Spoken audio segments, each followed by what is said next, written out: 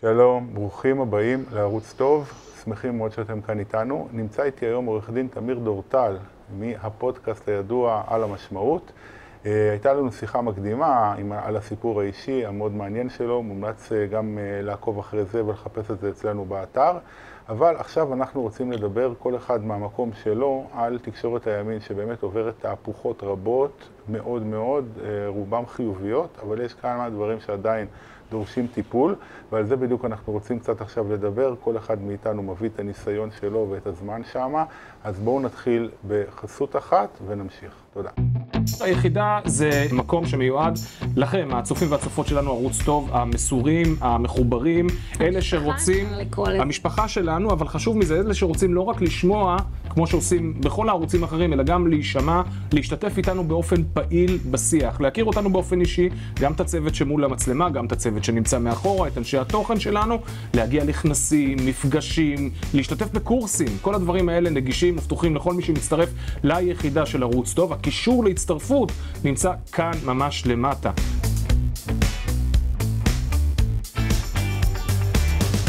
בסדר? אוקיי, חזרנו, אז אני רק מזכיר לכם שמועדון היחידה מחכה לכם. אנחנו רוצים שתצטרפו כי, אחד, זה עוזר לנו מאוד מאוד, אנחנו ככה יכולים לקדם את התכנים שלנו, לעשות עוד דברים יצירתיים, אבל מהצד השני אנחנו בונים באמת את, ה, את המועדון הזה שמורכב מהמון אנשים מאוד מאוד איכותיים. המפגש הבא שלנו, מפגשי הזום, יש לנו הרי גם קורסים וגם מפגשי זום, ויהיה כנס בקרוב, ונופש במלון, והרבה מאוד דברים כאילו שאנחנו עובדים עליהם, וחלק מהדברים כבר ממש יש להם תאריכים. אה, אז המפגש הבא, הקרוב, עם אליהו יוסיאן בראש חודש אב, החמישי לאוגוסט, בשעה שבע בערב, אתם שואלים, אליהו אה, יוסיאן אה, עונה. למטה יש לכם לינק, תלחצו, תשאירו את הפרטים, נחזור אליכם ונספר לכם מה הולך לקרות איתנו כאן בהמשך. אז אנחנו מתחילים עכשיו כאילו בשיחה. שלום. שוב, שלום. ברוך הבא פעם שנייה. אז אני חושב שאנחנו נמצאים, אתה יודע מה, בוא, בוא, בוא נתחיל דווקא ככה באיזושהי התפארות כזאת. ספר לנו קצת על, ה, על הנתונים, לאן הפודקאסט שלך מצליח להגיע, לכמה אנשים. אז דבר ראשון, הוא מצליח להגיע למיליון צפיות בחודש ביוטיוב, ולחצי מיליון בטיק טוק, אה, בפודקאסטים זה בין אה, עשרת הפודקאסטים הכי פופולריים בארץ בתחום הפוליטיקה, יודע, על פי מטריקות, אה, נקרא לזה אובייקטיביות, לא על פי איכות. עכשיו, ההשפעה בפועל, כי בסוף לימין, אה, נקרא לזה, אכפת הרבה יותר מאשר אה, עולם הרעיונות, אכפת לו מעשים בשטח. רגע, אתה מדבר על המצלמה וזה, אבל מה, מה קורה עם זה בסוף? מציל חיים, זה מוביל מדיניות אה, שבסוף טובה, או שבשביל זה צריך לבחור חברי כנסת? אז התשובה היא תשובתו של מילטון פרידמן. זו חוכמה קלה לבחור את האנשים הנכונים, זו חוכמה גדולה לבחור את האנשים הלא נכונים ולגרום להם לעשות את המדיניות שלך. Mm-hmm. וזה מה שעושה השמאל כל הזמן. אנחנו בוחרים את חברי הכנסת הכי אידיאולוגיים בימין, בסופו של דבר הם מיישמים מדיניות שמאל, ואנחנו שואלים את עצמנו למה, איך, איך קורה, לא, אתה בוחר, שוב, אני לא אגיד אנשים ספציפיים, למרות שאפשר להגיד כל מיני אה, שגב עם המיצובישי ואנשים אחרים שבגדו במחנה כמו בנט, אבל זה קורה לכל חברי הכנסת שלנו, בסופו של דבר מיישמים, אני אומר כל, כי, כי זה 90, 90 אחוז, 95 אחוז. מותר לך גם לחזור כבר למנחם בגין ב-77, נכון, כן, זה נכון, קורה לכולם. גם, לא, גם מנחם בגין שאומר, איני יכול עוד. מה זה איני יכול עוד? כן. למה כולם כן יכלו, או כל השמאל כן יכלו להיות ראשי ממשלה והיה להם בסדר, והוא פתאום לא יכול עוד? כי השמאל יודע להפעיל לחץ אפקטיבי.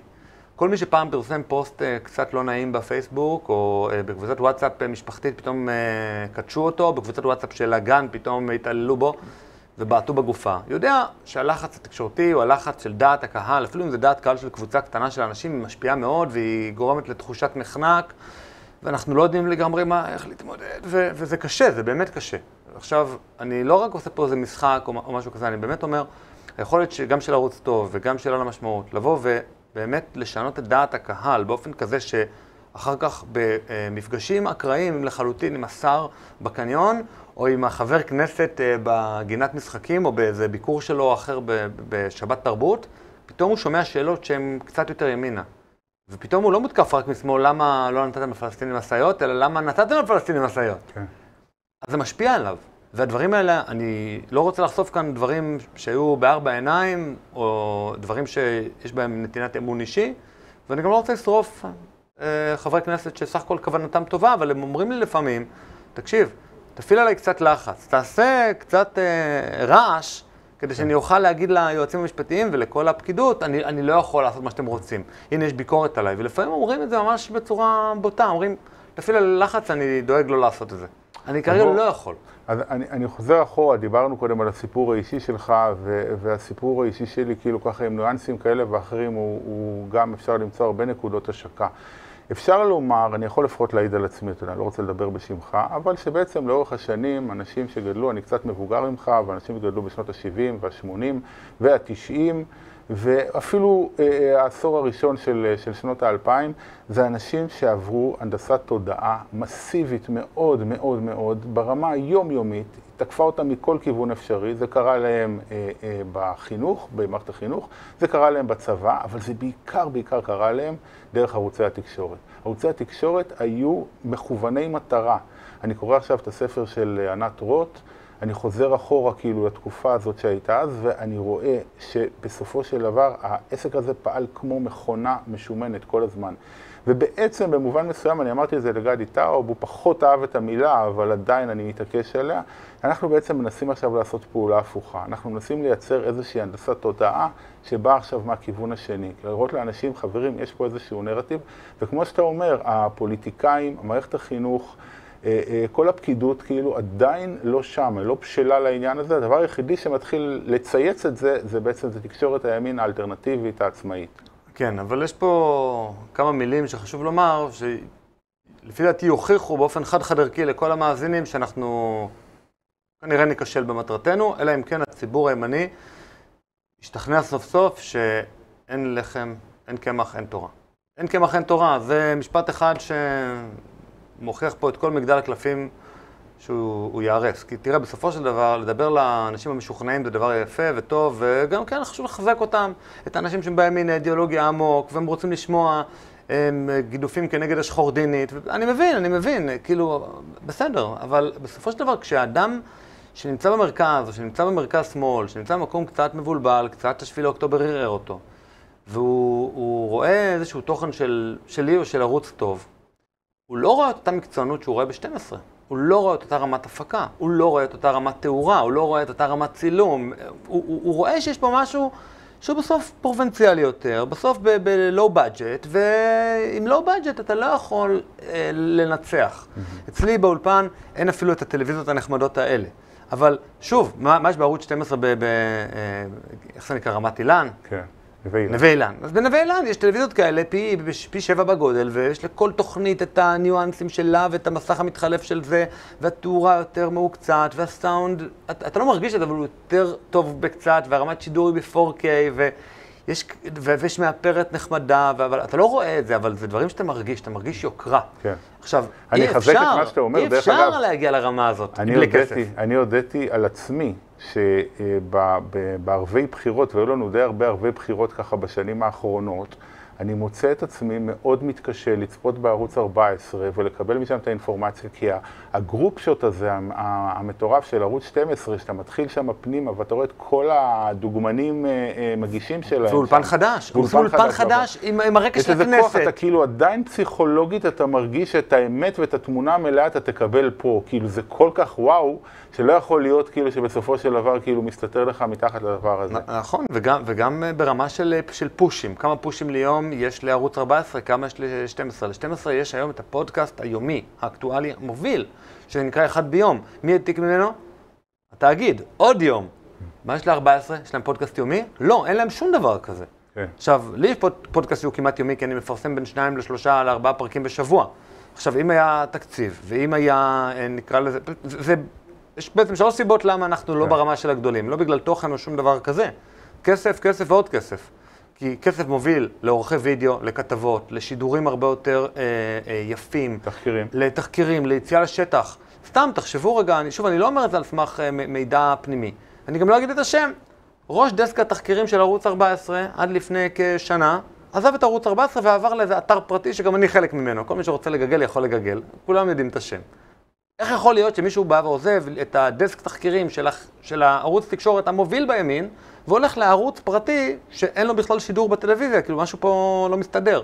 בערוץ 14 אין תוכנית סאטירה, ואין תוכנית תחקירים, ואפילו אם אתם תסתכלו על מהדורת החדשות, נגיד של 12, ותשוו אותה רגע, מהדורת חדשות 12 ו-14. אז ב-12 אתה רואה כתבות. יש כתבתו של נה נה נה.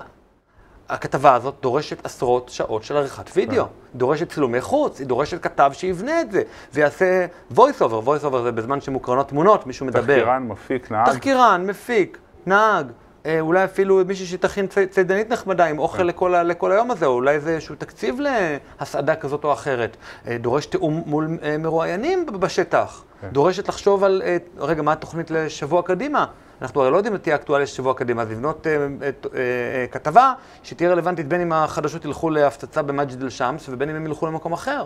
אז אני מאתגר אותך רגע מהצד השני. אני כאילו, אני רוצה רגע להציג את הצד האופטימי של הדבר, אבל זה בעצם מחזק לגמרי את התזה שלך. כי בעצם היום, במציאות של היום, באמצעים הדלים מאוד מאוד שאנחנו מצליחים לייצר את הדברים, אנחנו מסתכלים על טבלת הרייטינג ואנחנו רואים שינון מגל עושה בית ספר לאבי ניר. אוקיי? אין פה בכלל שאלה. אבי ניר לא ישן טוב בלילה, באחריות, הוא לא ישן טוב בלילה. אבל אין אלטרנטיבה. לא, לא. לא, לאיש ימין לא, אין אלטרנטיבה. לא, ברור, אבל עדיין, אם אתה אומר, בתוך העולם הזה של ה-80-90 מיליון שקל תקציב חברת חדשות, והמאות מיליונים שמושקעים בתוכניות בידור, עדיין הפטריוטי מצליח לגעת בטבלת הרייטינג כל כך קרוב לערוץ 12, זה אומר שעם עוד קצת כסף לימין, כמו שאתה אומר, איפה, לאן אנחנו יכולים להגיע? השמיים הגבול. ולכן הפוטנציאל של הדבר הזה הוא עצום, ובעצם מה אנחנו רוצים לבקש מאנשים? אנחנו רוצים לבקש לפי דעתי שני דברים. מבעלי עסקים הייתי רוצה לבקש פרסום כתרומה מוכרת, כהוצאה מוכרת. זאת אומרת, כשאתה נגיד בעל חברת נדל"ן, אתה בעל חברת תקשורת, אתה בעל, לא יודע, של אה, רשת מכולות הגדולה בארץ, רמי לוי. אל תסתכל על התרומה, על, על, על תקציב הפרסום שלך כתקציב פרסום. בוא נראה איפה אני תומך, איפה שמביא לי הכי הרבה בסופו של דבר לקוחות בקופה. גם זה חשוב, אבל גם חשוב, כמו שבנק לאומי ידעו לעשות יפה מאוד, לקבור את ערוץ 14, אז אם בעל עסק רוצה לבוא ולתמוך בערוץ 14, רוצה לתמוך בעל המשמעות או בערוץ טוב, גם אצלי יש פרסום, גם אצלכם וגם בערוץ 14. תבואו, תגידו, במקום לתרום לכם, כי אתם הרי אה, אה, חברה לתועלת הציבור, אתם, אי אפשר לתרום לכם תרומה מוכרת לסעיף 46. לא, אי אפשר לתרום לנו בכלל. אי אפשר לתרום לכם בכלל. אז מה שאפשר לעשות, יכולים לתמוך. אז מה שאפשר לעשות, איך תומכים בעצם בערוץ טוב, איך תומכים אה, בי? מה שעושים, מאוד פשוט, מרימים טלפון, יש מישהו שעונה לטלפונים ויודע לבוא ולמכור פרסומות, ואומרים לו, תקשיב, אני, אני רוצה, יש לי הוצאה מוכרת, פרסום. הרי אם ככה אני ממוסה 70% מס, אז בעצם ב-30% מה...